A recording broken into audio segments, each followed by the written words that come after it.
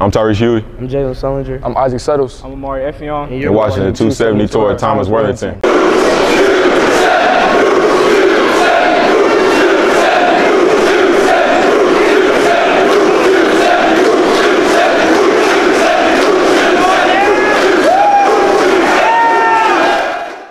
Welcome to the 270 Tour. We are here on another stop at Thomas Worthington High School. I am your host, Zach Fleer from 270 Hoops, and I'll be joined by Thomas Juniors, Tyrese Hughey, Jalen Sullinger, and Isaac Settles. Uh, we're going to start here with Tyrese. Tyrese, what's going on? Nothing much. How you doing? We're doing good. Um, you see, he's wearing a Michael Jordan shirt. Before we started filming this, I asked him who the GOAT was. He said LeBron, LeBron. so I was pretty disappointed, you know, starting this conversation. But we'll get straight to it. You know, you've been here for a couple months. Mhm. What's your move been like from you know Licking Heights, and what has it been like to adjust to you know a new part of town, a new school, and then you know new teammates? Uh, it's pretty smooth. School wise, it's much better. Academically, yeah, they pushing me. Um, new teammates, I like them. Pretty much, yeah. New town. Yeah. And you knew you knew some of these guys ahead of time. I mean, you played AAU ball with Jalen before, so having you know that kind of familiarity. What was that like when you did you know move here?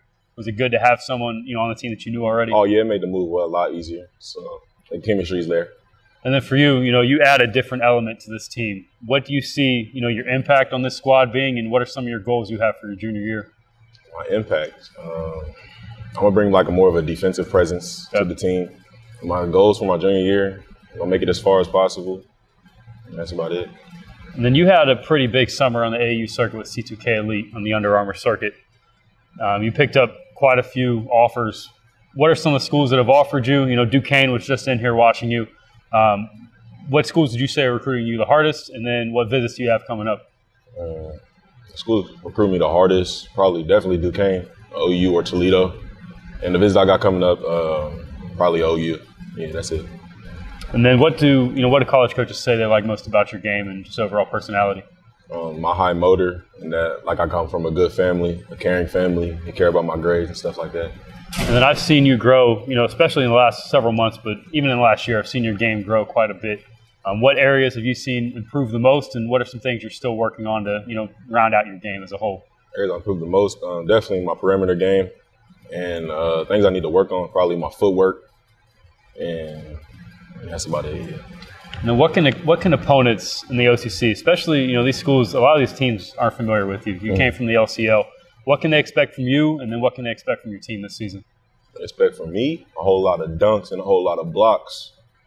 Expect from my team a whole lot of shooting, a lot of just getting after it. Really hard work. You're gonna see it. You're gonna see it pays off. We continue our stop here at Thomas Worthington High School. I'm joined by junior point guard Jalen Sullinger. What's going on, Jalen? How you doing?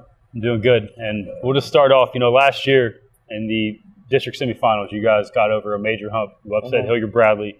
And then after that, I feel like you had your breakout moment here in Central Ohio. You know, against Pickerington North on the big stage, 33 points. Um, what was that moment like for you? You know, getting over that hump, getting to the district finals, and then once you got there, really establishing yourself as an elite player in the area. Yeah, uh, beating Hilliard Bradley after they beat us twice in the regular season, and they really handled us. So like beating them felt really good. That probably my favorite win so far in my career, Okay. honestly. And uh, you know, against Pick North, it wasn't enough to win, but at the end of the day, I played well, and uh, we look to just take the take the season game by game and just see what we can do this year. So. And then you, you know, you come from a very long line of great basketball talent and history. Uh, your grandfather Satch, great player at Oberlin back in his day, and then a state championship coach at Northland. You know, with your uncle uh, Jared McDonald's All-American, NBA draft pick, first team All-American at Ohio State, and then even your dad and your uncles. Mhm. Um, coming from that Sullinger family and knowing that that name holds so much weight, what are those expectations like for you? And then what's the most that you've learned um, from those people in your family? I mean, I've always had the expectations, you know, coming from that uh, family, and uh, I got a lot of people in my corner, and like they keep me humble, and you know, they got the blueprint really. So I just take whatever I can from them and run with it. And then your dad, JJ, he was a great player here back in his day. Won a district title. Right. Went on, played Ohio State, played at Arkansas. What are some things that he's really instilled in you? You know, your whole career coming up, and um, what's it like having a guy like that as your dad, and you know, always there for you?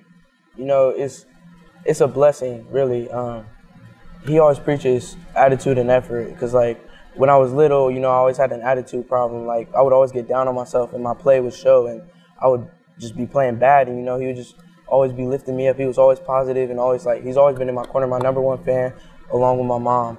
You know, the best dad I could ask for. Really, he's really like I wouldn't be here to, without him. Absolutely, and you know, this year you guys have a much different roster, a lot of top end talent, more depth, again, more expectations. How is this year different from the previous two? You know, knowing that you guys have a bigger target on your back than what you're used to. Mm-hmm. You know, it's really not different. We haven't really won anything yet. You know, we got a lot of hype. You know, and last year we had that hype. You know, me and Isaac being only sophomores and Ben White and uh, some good seniors. But um, this year we got a lot of key guys, and we're just hungry and we want to play the right way and you know make some noise. And then outside of you know, you mentioned Isaac, you got Tyrese. What are some guys on this roster you think are going to step we up? We got and- a lot of sleepers. I know I could go on and on about our team. You know, we got uh, Maurice Collins. He's Yep. a three-year player on varsity, but he got sick last year. But I'm telling you, he's the real deal. We got Amari Effiong, transfer from Pick North.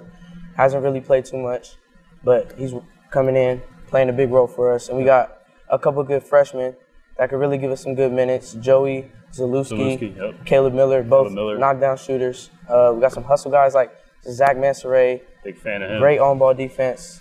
Landon blazes butt off all the time. So we got a lot of guys that can help. Absolutely. Everybody can. And then you guys are playing in that Scholastic Play-by-Play Classic. LeBron Jr. is going to be there. It's going Mm-hmm. to be crazy. Epic. What are you looking forward to at that event? Getting to play a nationwide arena in front of you know, know- all those people.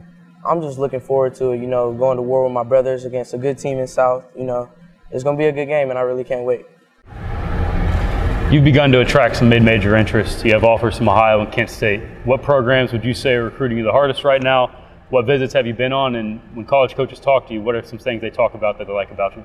Um, OU is really, uh, really recruiting. Um, Toledo, Miami, Kent, you, of course. Uh, a lot of the MAC schools and some other conferences. But um, when I talk to coaches, you know, they just they talk about uh, always being that leader. You know, at my size, I got to lead with the best of them, and uh, I'm trying to take that uh, take that challenge, take that challenge up this year, and show them that I can be that leader that they're wanting, and uh, just take whatever they give me and applying it. Really. And what can opponents and you know opposing teams? What can they expect from you and you know your team this season? Uh, just expect us to play hard and uh, just try to win every game we can. We're just hungry and want to win. That's all. All right, we're back here at the 270 tour at Thomas Worthington. I'm with Isaac Settles. Isaac, I talked to Jalen about this game, but you had a really big moment in that district semifinal upset over Hilliard Bradley. You made some big shots in that game, helped you guys get the win. What was that moment like for you, and how are you going to use that to build off, you know, to have a better season this year? Uh, going into the game, coach, coach told us it's gonna be a tough game because you know it's Bradley. They've been good for the past however many years. Right. And just like the moments and them shots, it was just like one of us had to do it. Was bound to happen. We just had to play as a team and just get the dub. So I do have So the addition of Tyrese Hughey and Mari Effiong, they came in from different programs. This team's different now. In what ways do you see this team being different from last season? Uh, last season we had Ben White, which was a big part of our offense, and then he graduated. Um, so now we got Tyrese came in, and kind of filled that spot, but Ben can do things that Tyrese can't do, but Tyrese can also do things that Ben can't do. So we lost one of our best shooters, Charlie Mamlin.